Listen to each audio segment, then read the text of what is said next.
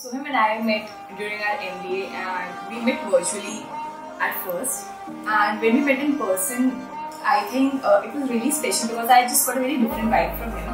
And we did not uh, seem to understand that when we fell in love in between the friendship. Yeah, one more thing. None of us proposed. Yeah. It was just we decided that we were going to marry. It's so strange. Like someone just asked that who, uh, who did propose, and we were like, who would propose? We just Not official. Yeah, exactly. There's no official, and there's no official relationship date as such. Yeah, it was just. relationship anniversary. That's-